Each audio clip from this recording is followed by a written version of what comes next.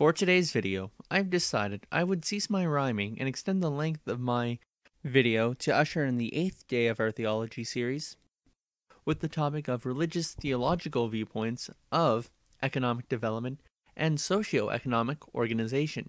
This video will look at the influence of four different theological worldviews.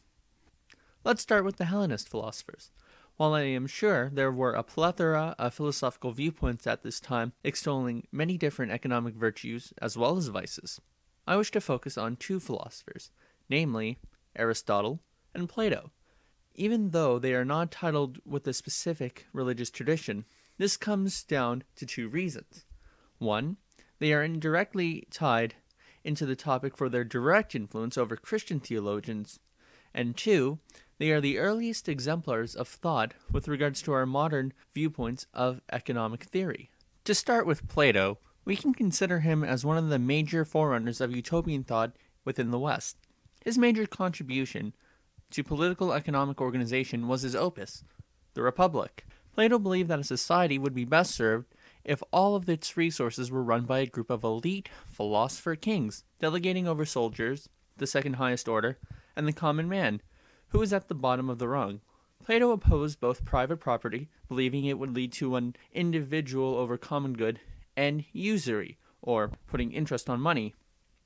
The Republic went on to influence the famed Christian theologian St. Augustine, who wrote The City of God. So popular was Plato among Christians that they perpetuated, according to Augustine at least, that his wisdom was partially due to his personal relationship with the prophet Daniel of the Old Testament. Augustine himself used the Republic as a springboard for describing the heavenly Jerusalem that God will bring about, serving as an early example of separating religious elements from secular ruling governments. In Islam, the effect was of the reverse order. The eminent philosopher Abu Nasr al-Farabi was inspired by the Republic to create his own, more Islamicized version of it, the virtuous city. In his scenario, the philosopher king would be replaced by the first chief, who is a mystic able to communicate with the divine, and a lawgiver and establisher both secular law and religious law to the state. These viewpoints would later go on to influence the Ayatollah Khomeini in his Islamic Republic within Iran during the revolution of the 1980s. The second philosopher to contribute to the field was Aristotle, who, like his teacher Plato, agreed that usury was bad, but accepted and defended private property, using arguments that many libertarians use today. For example, the notion that one ignores communal property, but takes care of his own property even better. Not to mention, he would also use his metaphysical arguments to prove that it is within human nature to be territorial and thus good, it is just human wickedness that generates its misuse. These notions go, would go on to influence Christianity through St. Thomas Aquinas, as well as more secular philosophers like that of John Locke, and it would later go on through Locke to influence American legal philosophy.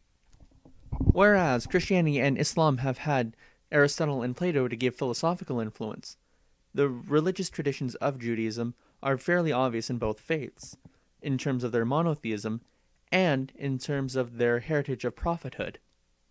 It was considered to be a religion, whereas usury was also considered wrong. However, unlike Islam or Christianity, usury was considered chargeable to outsiders. Now, whereas Aristotle and Plato may have given their philosophical justifications for not allowing usury, it was only until the doctrine, supplemented by Judaism, where such defenses had to be also given. The Old Testament also structures in socio-economic thought as well, in terms of how Israel was organized according to the Bible. In the early days, Israel was ruled by a priestly class of judges, similar to Al-Farabi's The Virtuous City. It was not until the prophet Samuel, whereby the socio-economic structure became a monarchy, although the economic dangers of such a system were indicative by the sayings of the prophet Samuel, who said, if you have a king ruling over you, this is what he shall do. He will take away your sons and force them to serve him, and he will force them to be his soldiers. They must fight from his chariots and become horse soldiers in his army. Your sons will become guards, running in front of the king's chariots. A king will force your sons to become soldiers. He will choose which one of your sons will be officers over a thousand men, and which will be officers over fifty men. A king will force some of your sons to plow his field and gather his harvest, and he will then force your sons to make weapons for war and make things for his chariots. A king will take your daughters and force them to make perfume and cook for him. A king will take your best fields and vineyards and olive groves, and he will take them from you and give them to his officers, and he will take one tenth of your grain and grapes, and he will give them to his officers and servants. A king will take your men, women, and servants, and he will take your best cattle and your donkeys, and he will use them for all his own work. And he will take one tenth of your flocks, and you yourselves will be slaves of this king. When that time comes, you will cry, because the king you chose, but the Lord, he won't answer you. That speech was quoted by Thomas Paine in his work on common sense, a work that would later go on to inspire American revolutionaries during the Revolutionary War. Within the rabbinic schools, there were two interpretations one looking favorably on Saul, the monarchical school, and the other agreeing with Thomas Paine more or less, the Republican school. While I already covered Christianity's influences through its philosophical and religious roots, I wish to cover a bit more here. In the ancient church, there were two schools that could also be characterized as monarchical and republican. To begin with the first, in the Eastern Church, the connection of the church to the state was, for the church, to be the priest of the state, giving its blessings whenever it could, and the state to act as its protecting soldier. The emperor of the Eastern Roman Empire would select the church's patriarch and be the exemplar of faith for his people. So well regarded was the monarch, St. Gregory of Nicaea likened the system to the supreme good of monotheism, while democracy as polytheism and anarchy was as atheism. The church could only protest in the face of heresy, as was done under iconoclasm and monotheism. In the West, thanks to the sacking of Rome, the church was more separate. Christians, under the theology of Augustine in the city of God, were like an exile in a land they were not a citizen of. Rather, they were a citizen of the city of God, awaiting the return of their leader. In the meantime, they are there to act as exemplars of both cities. Augustine and Aquinas went on to influence Protestant thinkers John Calvin and Martin Luther were amongst them. They held that those in the Republic of God were to be the best citizens if they were really part of the elect, ready and designated to be members of the church. John Calvin went on to defend usury, and also went on against the traditional Catholic stance. The Puritan work ethic was born and was inspired by Calvin's theology, and it was called, well, the Protestant work ethic, by the sociologist Max Weber.